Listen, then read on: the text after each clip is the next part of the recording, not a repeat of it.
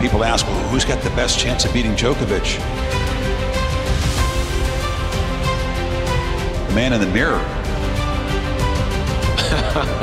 so hard to beat if he doesn't beat himself.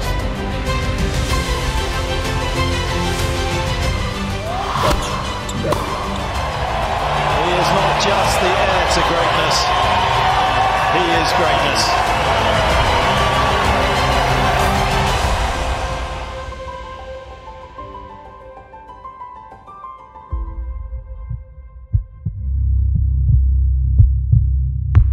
Pa najveća prepreka ovaj, jedan teniser iz, iz Srbije, zove se Novak Đoković, on je najveća prepreka.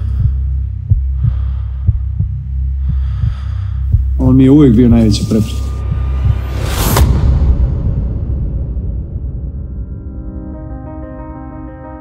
Michael Jordan je rekao, promašio sam više od 9000 šuteva u karijeri, izgubio sam 300 utakmica. U 26 navrata ekipa mi je verovala da mogu da dam koš za preokret i pobedu u poslednjem napadu, a ja sam promašio. Bio sam neuspešan iznova i iznova, zato sam uspeo. Nije strašno kada neuspeh doživite, govori nam Novak Đoković. Niko nije uspeo u nečemu, a da prethodno nije naučio kako se nosi sa porazom. Izgubljena finala Grand Slamova, neuspesi na olimpijskim igrama u Tokiju, Riju i Londonu, a posebno zatvor u Australiji 2022. Sve su to bili udarci koje je Novak doživljavao na putu ka besmrtnosti. Ali ono što šampiona odvaja od ostalih jesu želja, vizija i čvrst karakter. Đoković je padao, pa ustajao, iznova bio na kolenima i vraćao se još jači. Tako se stiže do uspeha.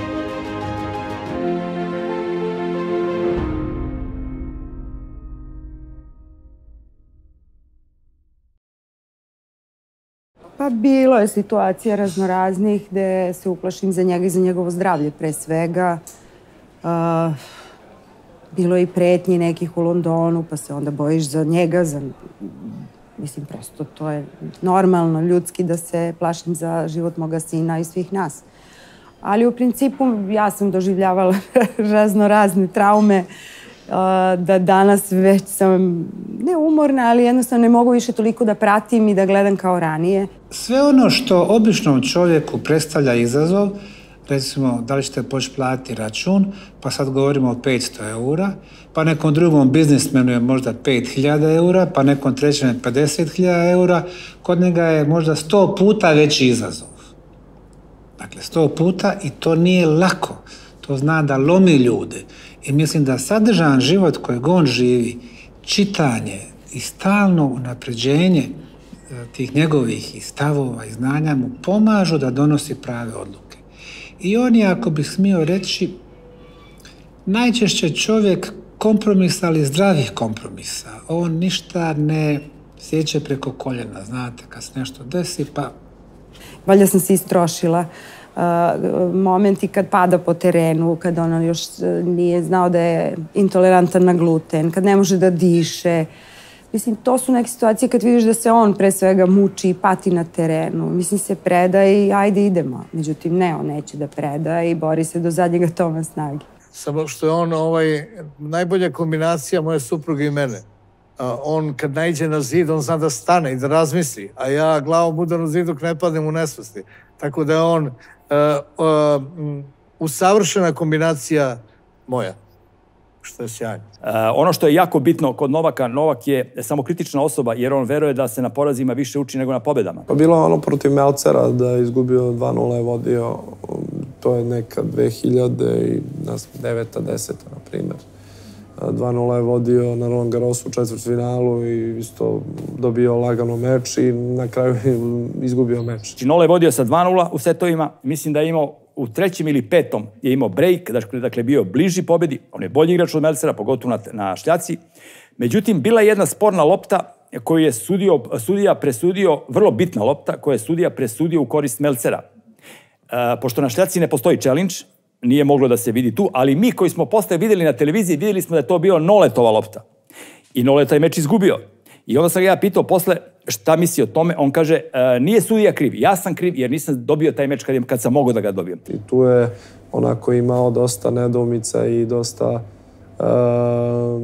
nije znao kako, kako dalje, onako baš je, sećam se da smo pričali posle tog meča da mu nije bilo lako, ali se izdigao iz te situacije i nekako tu se osetilo taj drugi deo te, te godine napravio uh, fenomenalan onaj uh, comeback i igrao dosta bolje i zaista imao, mislim da mu je taj meč prekretnica da, da je shvatio neke stvari i da je nakon toga krenuo dosta, dosta jače. Znači, jednostavno on se trudi da iz svakog e, meča, pogotovo poraza, izvuče korist za sebe. I on je to ne lako mora da kaže studija krivi, baš me briga. Ne, on je shvatio da je on mora da završi meč u kome je vodio 2-0 setima i to protiv igrača koji nije na šljaci najbolj, kome šljaka nije najbolja podloga, kao što je Melcer. Tako da iz toga sam vidio koliko je on, nema ono sudija kriv, kao što recimo ima često na našim futbolskim utakmicama, da je uvek sudija kriv, a nismo mi krivi kao igrači. Ne, nije sudija kriv, kriv sam ja. I to samo može da se popravi tako. Eto, tu sam ja otprilike zaključio, to je 2010. I posle je došla ona istorijska 2011. i taj, taj juriš na fantastičnu karijeru. Kad ste bogati u životu, a bogati ste zbog znanja, bogati ste zbog informacija kojima raspolažete, ona vam omogućavaju da pravite komparaciju, da opoređujete, da sebe izgrađujete, da postajete jači, pa i mentalno kada ste jači. I puno lakše se on vraća u balans od drugih, fizičkog i duhovnog, materijalnog i spiritualnog. Kada ostvarite taj balans, može vas nešto privremeno, koju sekundu malo izbaciti iz tog i vi se vrlo lako vraćate. Ali oni ljudi koji su, znate, koji variraju, pa odu u jedan ekstrem, pa u drugi ekstrem, pa čas se smiju nekontrolisano, pa onda plaću, pa... E, to se može primijeniti na sportiste. Imate one, kad ih nešto iznervira, neka sudijska odluka, kojih zapravo sve manje, pošto sad sve ide na, ovaj, na mašine koje nam upravljaju svime, pa i tenisom, fault ili greška, nije greška.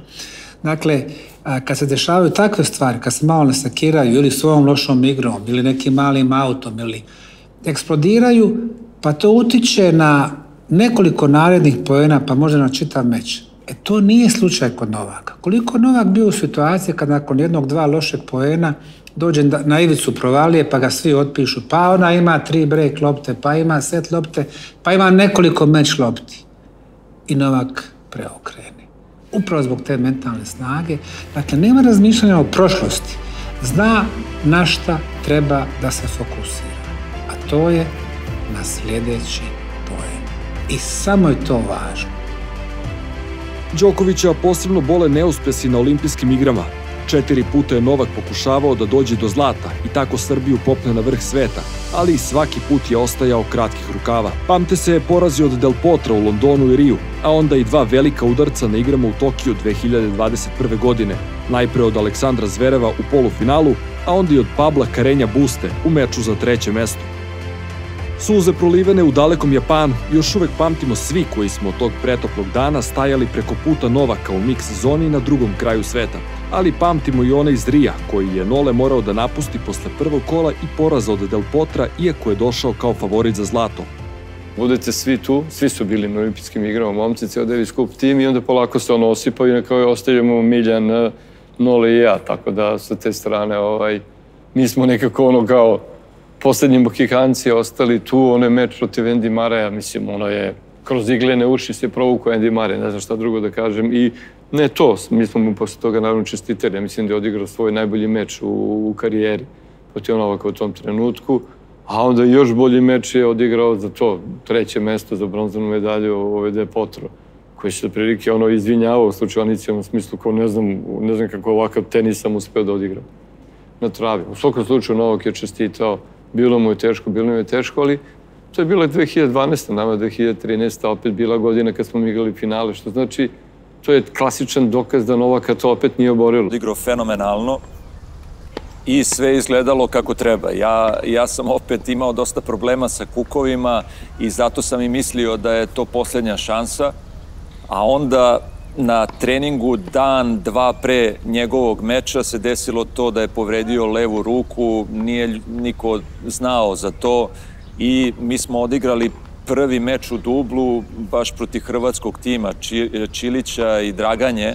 I jako lagano smo dobili, međutim, zato što su verovali da je Noletu, kao što jeste, bolji backhand reter, mnogo su mu češće servirali na forehand, i, i to niko nije primetio. Međutim, u meču sa Del Potrom e, se to videlo da nije mogao da udari ni jedan bekend i nažalost e, je izgubio više zbog povrede nego bilo koji drugi razlog da je, jer Del Potro se tada vraćao, nije igrao e, turnire posle povrede i, i, i samo zato što Novak nije mogao dovoljno dobro da odigra taj backhand, da, da igra punom snagom, zato je i Del Potro imao šanse u tom meču. Inače, mislim da, da u toj situaciji nikako to ne, ne bi moglo. Pa i mi smo bili iznenađeni jer smo, mislim, i sa navijačke strane i, i, i forme u tom trenutku, ako se dobro sećam, mislim da je bio da je bio favorit za medalju i desio se taj poraz od Del Potra koji može, eto, svakome u svakom danu da se desi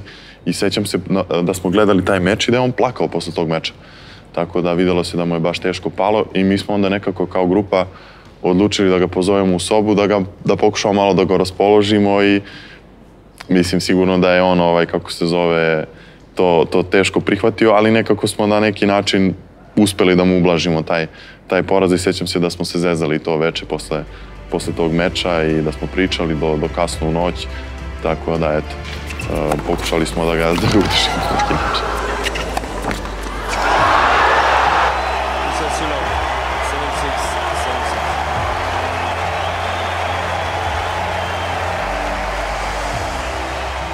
Suze iz Rija nisu bile poslednje.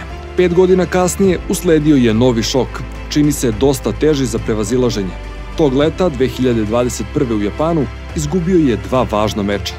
I onda je izašao na teren nakon tog meča u dublu protiv uh, brazilskog tima Soareza i i protiv Mela, tu smo izgubili 6-4, 6-4, ali tu ni jedan beke nije mogao da odigra i meni je bilo izuzetno krivo i zbog njega, a i zbog ovoga što je to poslednja šansa bila za, za neko osvajanje medalje.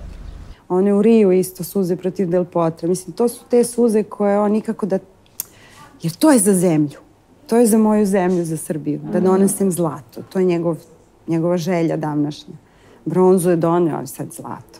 Tako da su to te suze što ne može nikako da prelomi i nešto mu se ne da, ne znam. Valjda će biti dogodine bolje. Teško, jako nakon poraza, doista sve je išlo kako treba, vodio je, imao čak break prednosti u drugom setu protiv Zvereva i nekako je sve krenulo nizbrdo. Nije mogao da, da izdrži do kraja meča, da nekako, eto, oset, osetio je nesigurnost, ali da kažem, bio je već uh, dosta iscrpljen čitava sezona, pre toga gde je dosta iscrpela, osvojio je puno turnira, već je došao, da kažem, nije došao onako na svojih 100% na, na, taj, na tu olimpijadu i nekako, nažalost, kao da je izgoreo u tom meču i da jednostavno nije imao više goriva da završi taj meč. I to je nešto što ga definitivno ovaj, boli.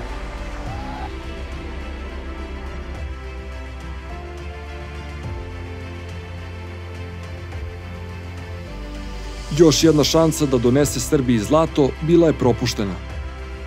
To se dešavalo u njegovoj karijeri puno puta, da, da vodi tako meč i da je maltene ima ceo meč pod kontrolom i da se na kraju desi da, da izgubi, pogotovo u tako bitnom trenutku. Jednostavno ostao je bez, bez goriva i to je u tom trenutku tako bilo.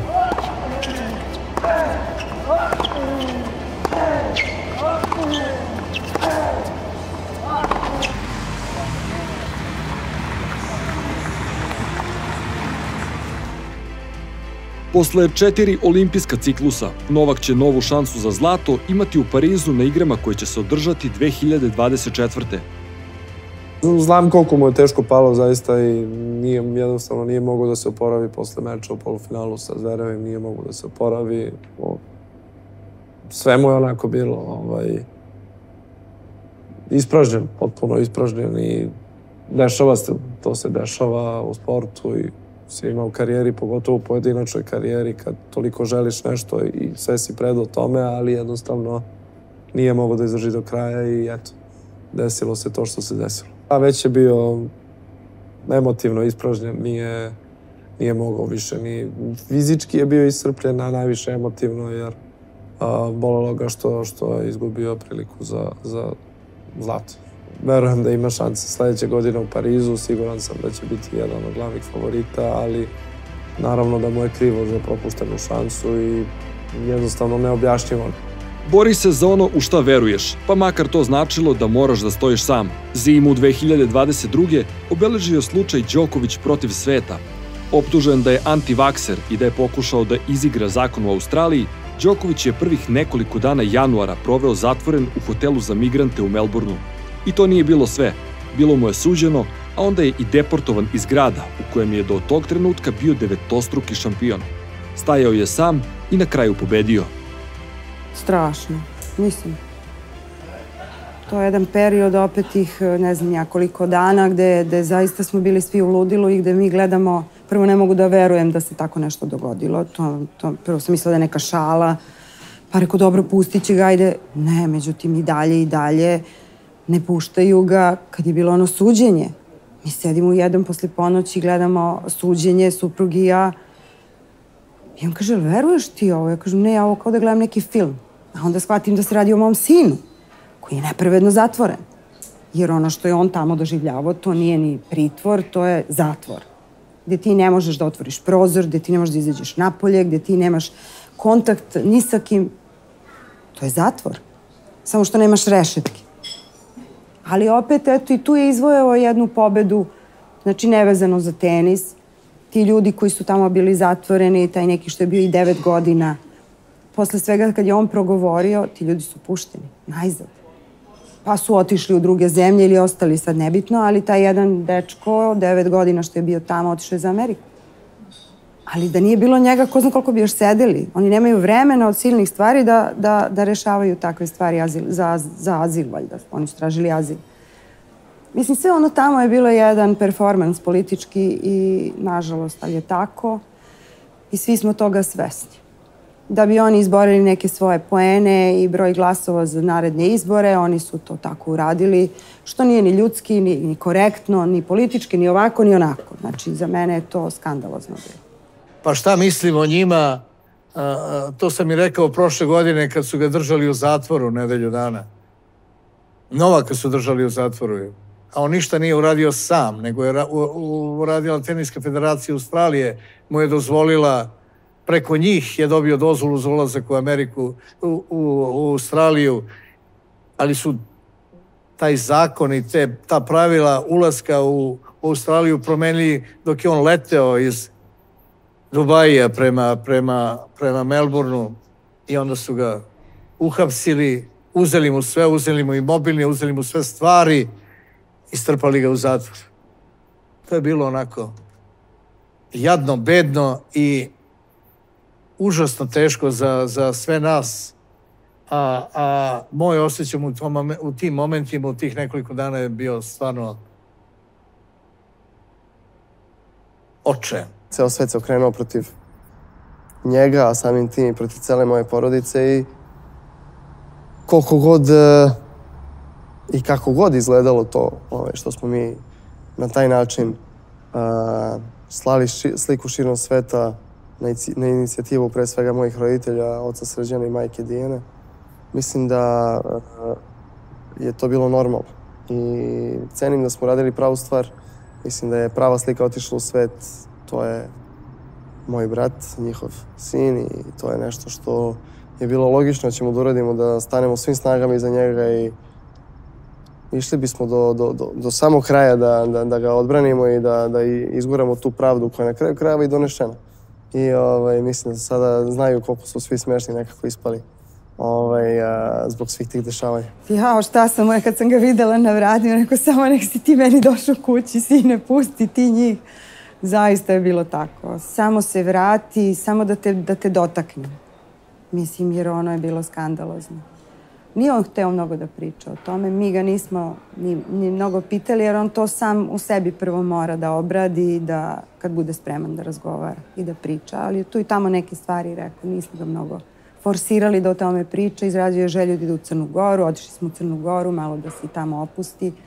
Prosto on na svoj način to ovaj, vari u, u svom želucu kao svako od nas. Pokazuje da je on predvodnik slobodarskog sveta, a slobodarski svet je i Kina, i Rusija, i Indija, i Afrika, i Južna Amerika, i čita ih 7,5, 8 milijardi ljudi. To je slobodarski svet i oni su svi apsolutno uz Novaka i uz to što on radi. I on nije hteo da uzme lažnu, lažnu potvrdu o tome da se vakcinisao, bez obzira koliko ga je to koštalo u svakom pogledu. Nije hteo, jer je on pre svega Novak. I zato ga ceo svet, slobodarski svet, obožava. I naravno, većina tog anglosaksonskog sveta, obični ljudi ga obožavaju.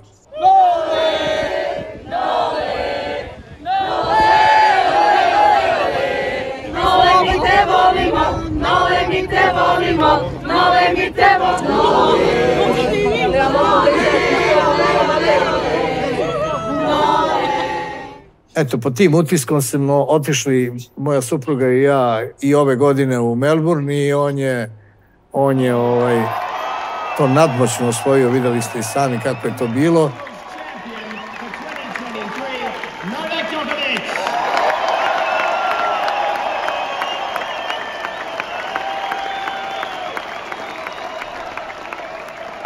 I opet su, na, opet su ga, pošto je igrao Adelaidu pre toga ovaj, turnir, pa su više ništa znali od muke šta će i kako će i na koji način da mu napakoste, pa kao šta, šta ima u tim bočicama, da to nije neka mutljavina, pa e, folira povredu i na kraju su sve to pričali danima i danima i nedeljama pre, pre Melburna i u Melbourneu i tako dalje. Na kraju su mi namestili da sam ja ovaj, ne znam šta uradio tamo, da sam pozdravio ovaj, uh, uh, uh, Ruse.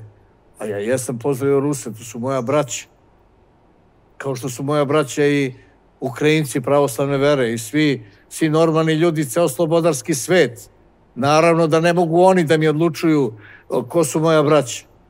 Nikada nisu mogli, niti će moći. Uh, my father, my whole family and myself have been through several wars during 90s, so as my father put in a statement, we're against the war we never will support any violence or any war.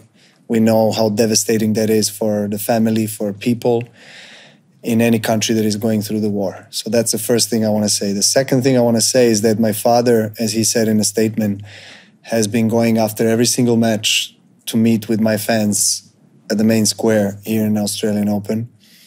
Uh, to thank them for the support, uh, to be with them, uh, pay them respect, and make photos. And uh, the photo that he made, he was passing through. Um, I heard what he said in the in the video. He said "cheers," and unfortunately, some of the media has interpreted that in a, in a really wrong way. So I'm sorry that um, that has escalated so much. Ja sam mu rekla još prošle godine, kad se sve ono desilo i kad se vratio i kad je rekao da će u Australiju, ja sam rekla, Da li misliš da ideš u Australiju? Pa ja se nikad ne bi vratila više tamo, ne bi kročila na njihovo tlo. Deported from the country in which I would like to come back. So I would love to come back to Australia. I love Australia. I've, I had the best Grand Slam results in that country.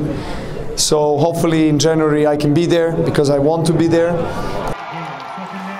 Ali ja hoću, mama. Ja hoću da odem i da pobedim i da osvim na taj način im pokažem. I da sebe dokažem, ali i njima da, da pokažem da nisu bili u pravu. Novak Djokovic.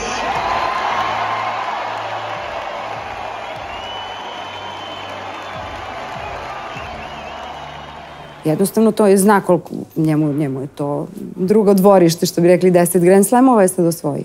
Mini je to malo. Uh, jako je bilo teško jer su oni na sve moguće načine pokušali da ga poremete. On je imao povredu u kojoj oni sumnjaju, jel? Nadal se povredio, ja on je heroj što igra, na Novak povređen, folira. I to su jedni neki pritisci konstantni koji njega, on sve to čuje naravno i, i pokušavaju da ga poremete, ali on na neki način uspeva da, da odoli. Pa onda ono sa srca ocem što je bilo i to je sve bilo namešteno. Odlučili smo da najbolje da ne dolazi, onda igra, i na taj način ćemo ovaj, pobediti i osvojiti. Znam da je povređen I dolazim prvi put u životu u situaciju, ja sam to njega pitala dan posle, rekao, sine, hoćeš da mi kažeš, ja ne znam kako da se ponašam više na terenu, da li da navijam i da te bodrim ili da sam samo tu, onako i da ćutim. A on kaže, pa mama, vrlo dobro znaš koliko mi je važan turnir, jesam povređen, ali radim na tome da, eto, svaki dan pokušavam da saniram tu povredu i bitno mi je da osvojim ove. Sam rekla, ok, onda znamo šta da radimo, da te bodrimo. A različiti su aršini, to je tako i što pre shvatimo da je tako. Mislim, ne možeš protiv toga, ne možeš ti njih da ubediš u suprotno.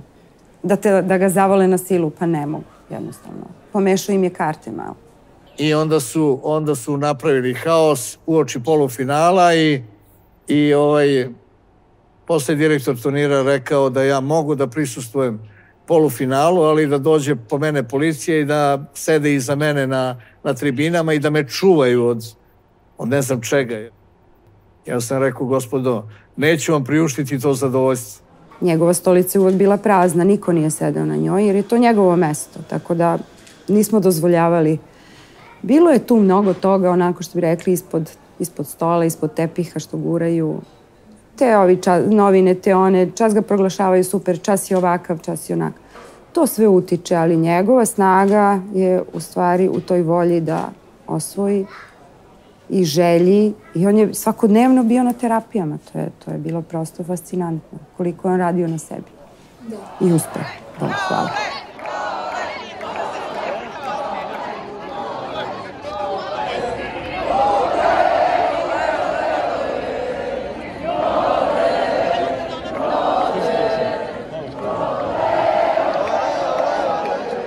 I naravno da, da je on bio najvažniji, najvažniji i, a, a tih tri dana provedenih a, za vreme polufinala i finala van kompleksa teniskog, samo moja duša zna kako je bilo meni i, i ovaj, samo mogu da kažem da, da će im Bog vratiti za to ponašanje koje su učinili tada.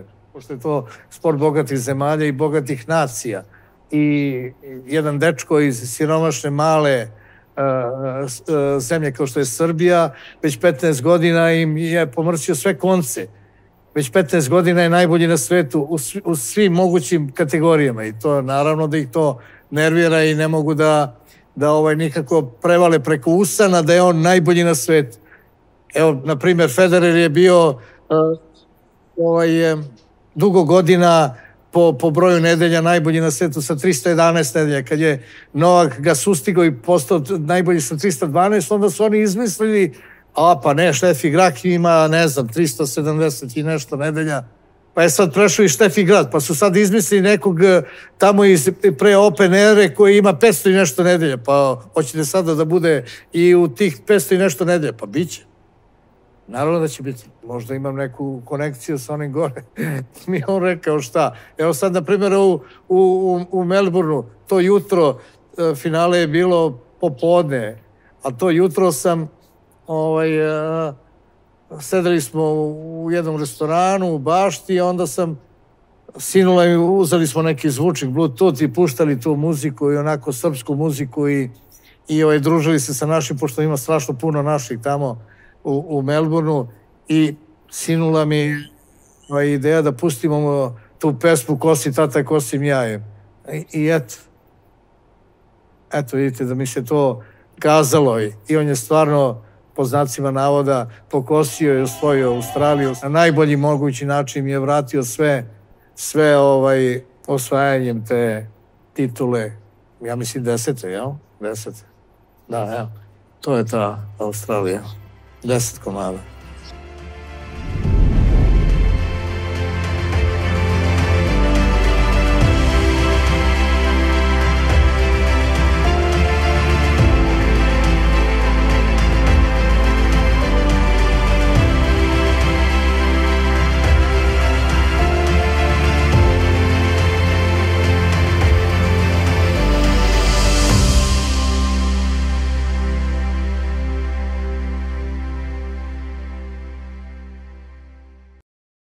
On je ono što jako volim kod čoveka, kod muškarca, to je gospodin Baraba.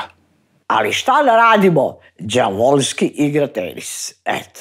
kad se sa 17 godina upoznavao sa roditeljima svoje buduće supruge, on se predstavio, ja sam Novak Đoković, budući svjetski šampion u tenisu. Dobro, svako se rodi sa nečim i mislim da on dosta toga ima u sebi. Ali mislim da moraš i da radiš na sebi. Ne možeš, nije ti baš Bog sve dao. Mislim da on crpi tu snagu iz, iz, iz, iz, ovaj, iz toga kada, kada su svi protiv njega.